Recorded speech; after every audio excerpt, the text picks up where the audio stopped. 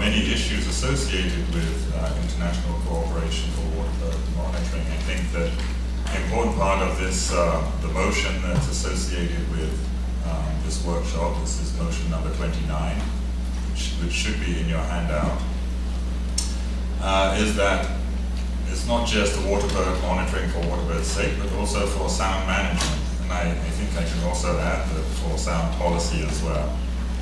Uh, for us in the Flyway Partnership, the information on, particularly on migratory birds and particularly migratory shorebirds um, in our flyway is only, we've only just started to get the level of detailed information that's really highlighting the, the migration crisis and the critical stopover sites in the Yellow Sea that um, uh, are really affecting waterbird declines and shorebird declines. And uh, you may know that IUCN recently published a situation analysis of the status of, of tidal flats in the East Asian region. And part of that study looked at the information on, on migratory birds and found that there were some astounding declines in, in populations of a number of what formerly thought to be quite common species. But now we're seeing not only species declines of, of up to 20, 26% in spoonbill sandpiper, but also uh, huge declines in, in, species like great knot um, and, and bar-tailed godwit. And we're also seeing shifts in migration patterns so that the migration is not the same as it was even 10 or 20 years ago. So I think this just highlights the importance of having good information, using that kind of information for improved management, and, and we're supporting a flyway site network in our, uh, in our flyway, and also for policy related to, in this case, tidal flats management. In, in the region. So, you know, I'm very happy to see this motion presented. It's a fairly, I think, straightforward and simple motion. It's not the intention of this workshop to debate uh, the details of the motion. There will be a contact group, I believe, tomorrow uh, on this motion, which I, which I encourage you all to attend. The format of this workshop will be a, a series of, of presentations on waterbird monitoring, uh, on international cooperation, on conserving waterbirds, and then some future directions. And that those presentations will be uh, followed by a short panel discussion by some experts that have a particular insight into, into waterbird monitoring in the region. And then there will be, uh, that will be followed up with a discussion. So hopefully in an hour and a half we can get uh, a substantial amount of, of discussion on the subject.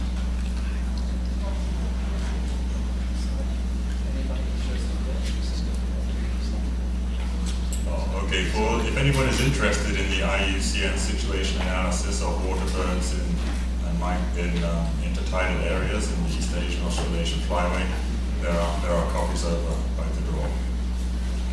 Um, so first let me introduce the first speaker, which is Professor uh, Lee Ki-seop from the Korean Association of, for the Conservation of Nature, who also works as part of the Korean Waterbird Network and is a well-known expert in, in black-faced spoonbill and crates, as well as other species in um, Korea and East region.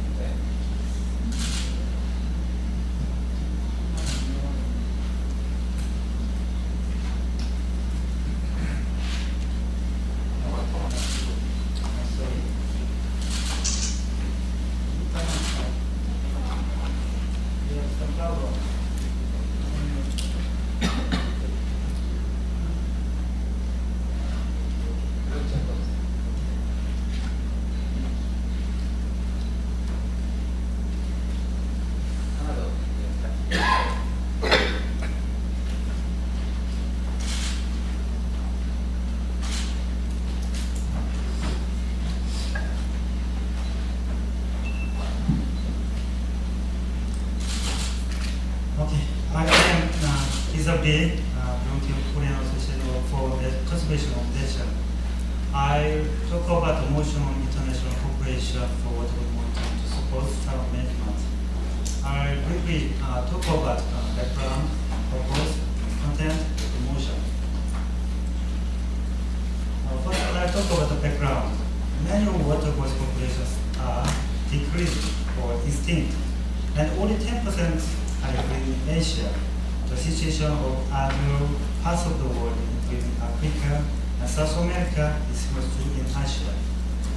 And national and local monitoring of migratory birds are conducting, but continental or regional wide monitoring uh, and exchange of information are not enough in. We need to enhance uh, the international monitoring of water bird population uh, to support the wetland system and monitor environmental exchanges. Uh, the purpose is conducting the international census of world population by the schemes of worldwide monitoring and strengthening of the international cooperation uh, for some members of wetland ecosystem and to support to mitigate the biodiversity reduction. Uh, the contents of the motion and the preamble and the operant paragraphs some items.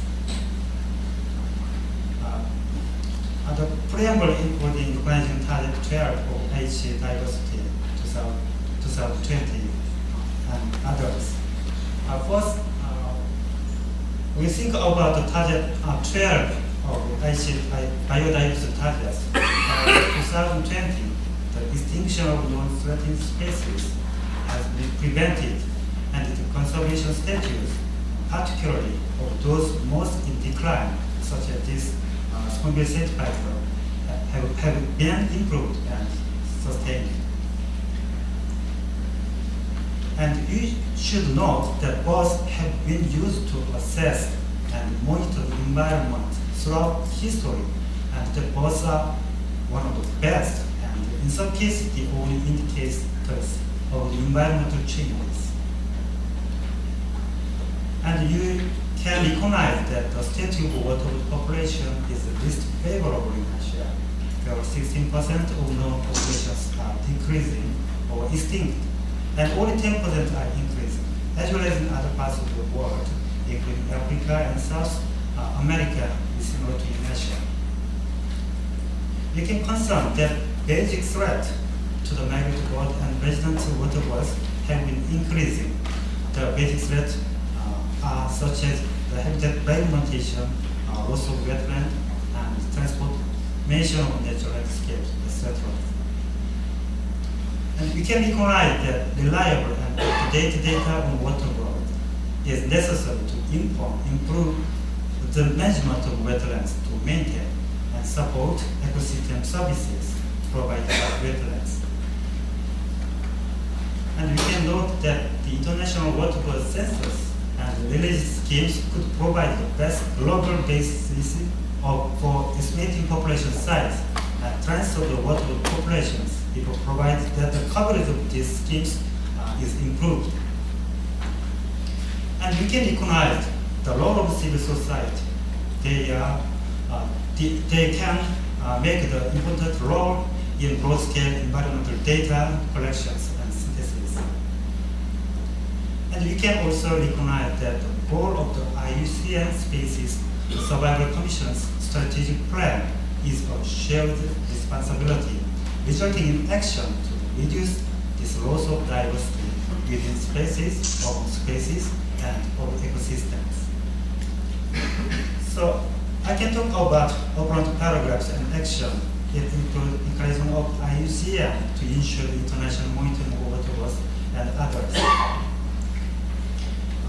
First, operant paragraph one encourages the IUCN membership and others to ensure that water populations worldwide are covered by international monitoring schemes and that are appropriate both in their scope and method to produce reliable international population size and trend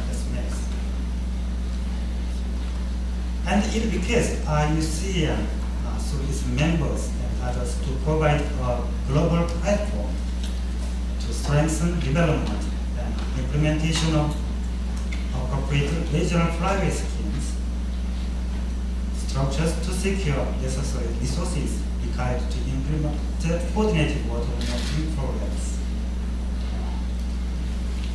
It supports the enhancement of national and regional network capacities undertake field monitoring of water bus on ongoing and long-term basis. It strengthens existing mechanisms for enhanced and timely reporting of the state of water populations to support conservation measures, including management of wetlands. It encourages the IUCN members to provide financial resources for water monitoring and to participate in the monitoring programs within their flyways. It invites relevant global and regional organizations, including the Convention on Biological Diversity, Convention on Biological Species, Ramsar Convention, the East Asia Australian Flyway Partnership, On the Conservation of African Russian Migratory Waterways, Western Hemisphere Migratory Species Initiatives to support strengthening of existing schemes within the flyways. It details the Director General of IUCN within available resources to provide technical assistance to support national and regional activities and report to the sixth section the World Conservation Congress progress in this regard.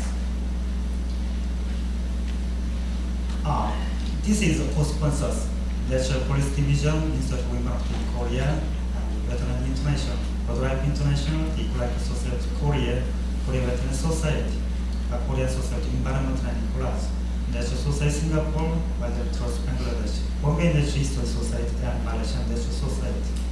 But we need uh, your help. Uh, we have to do, I think we have to do something for uh, water monitoring. Uh, I need your help and suggest. Thank you very much for your attention.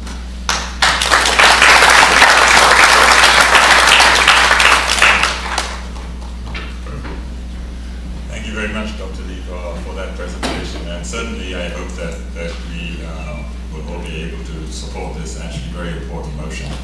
I was very happy to see the recognition uh, in, the, in the slide about the recognizing the role of civil society in, in collecting data and, and using data. I think that what we've seen, particularly in this region in, in recent years, is kind of a burgeoning of local uh, environmental groups, bird watching groups, uh, who are starting to collect a lot of very valuable and timely data that, that could be very effective if it's, if it's harnessed in the right way and if there's a framework for its use actually inform management decisions and, and even wider policy decisions. So I'm very happy to see that here. That's something that's, that's happening uh, very quickly in Asia with the, the, the development of bird clubs and, and, and individual bird watchers. Uh, the next presentation is on international cooperation by Simba Chan. Simba Chan works for BirdLife Asia, has a very extensive knowledge of, of water birds in the region. He's been working here for a long, long time uh, with BirdLife and other organizations. And his presentation is on international cooperation in water.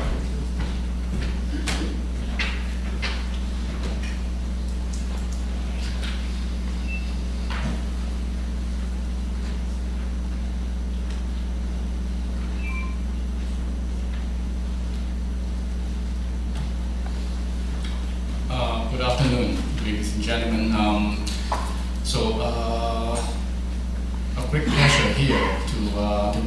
for the, um, or for the, well, for this, well, motion on the, well, uh, on international cooperation of bird monitoring. Um, uh, when Dr. Kim invited me to uh, to make this motion, I would say that uh, I would uh, I don't know uh, what should I say. So I said that maybe I should illustrate um, a kind of monitoring by well uh, on a single species, which is quite successful, and also it shows that well. Uh, bird monitoring can actually well provide us with more than just data we can actually build up networks, we can actually improve or achieve some conservation. And for Spike, actually, they mentioned that I have working for so many years. I, I started very young. Well, um, For so many years in, uh, in, the, in, the, in the waterway conservation things. And uh, one of the uh, case study that I um, that, that I think is very good. It's a very good case study. Maybe in the future, textbooks textbook uh, case study for Asia is a blackface spoonbill conservation. So I would like to use the blackface spoonbill uh, conservation and monitoring uh, to illustrate. Hope that in the future we will have a similar uh, successful stories. So blackface spoonbill, maybe I'm not sure, maybe you may not be familiar with this species. It is uh, the bird on the poster that uh, maybe uh, on the book and also outside.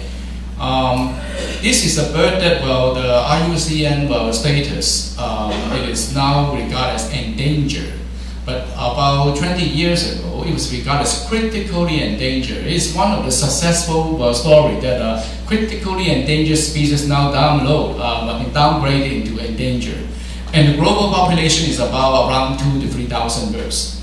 Uh, we know it very well, well because we have a very good uh, monitoring system. So we know the population of these species and the increase of this, uh, of this uh, bird.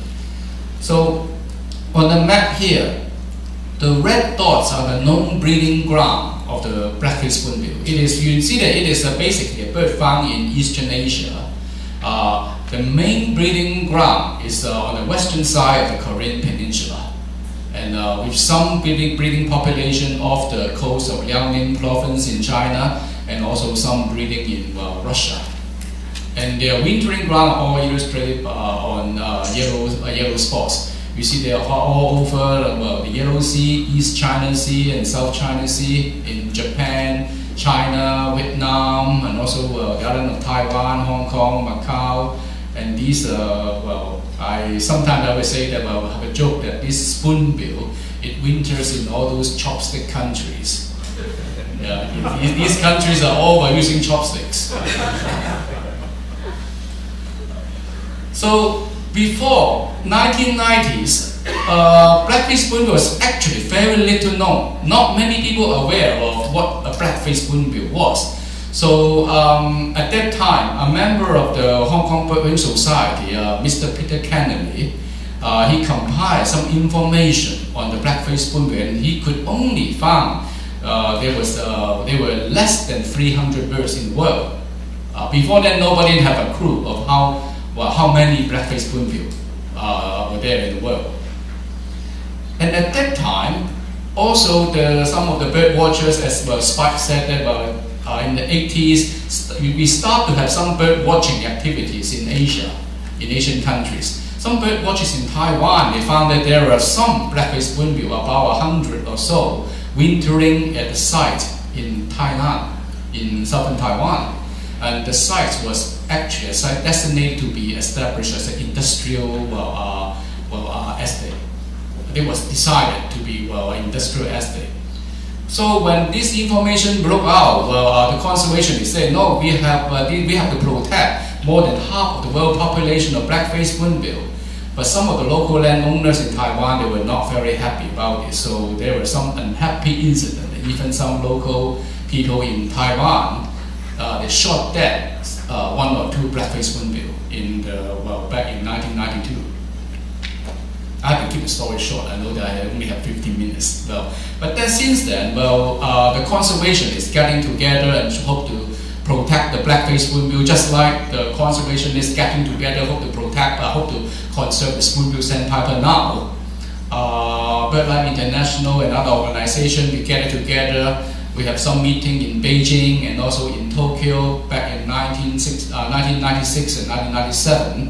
And that was quite an achievement because we could brought all those well, Cold War countries, people together, like North and South Korea. Well, uh, they are all, all brought together to discuss uh, some of the actions need to be done.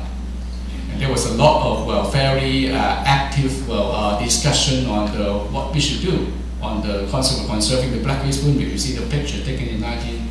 96. One of the activities uh, will suggest is we have to find out how many blackface spoonbill are there in the world. Where are they, how many, and the trend. Whether they're increasing or decreasing. So we started to have a coordin- coordinated count of the black-faced spoonbill in the winter, in the, in the wintering ground, uh, because the breeding ground is very difficult. They, at that time, we know the major breeding ground is in North Korea, which is very difficult uh, to census uh, the number of the birds. So we do it. Uh, so we actually did it in the wintering ground. That means in Japan, in Hong Kong, in well, uh, Taiwan, in Vietnam, and also some coastal countries in uh, some coastal provinces in uh, in China. They all count at the same time. If we have a coordinator, at first we started uh, uh, because the the reason why we started this is because you look at the gentleman holding well, uh, uh, this photo down there, the, uh, the American gentleman, right, Mr. Tom Dahmer. He was the one who started to collect some information on the on the census of black women back in 1993. He done a little bit, and then he joined our our group, and we started to have a, to have a uh, monitoring of the whole of the black black all over the region.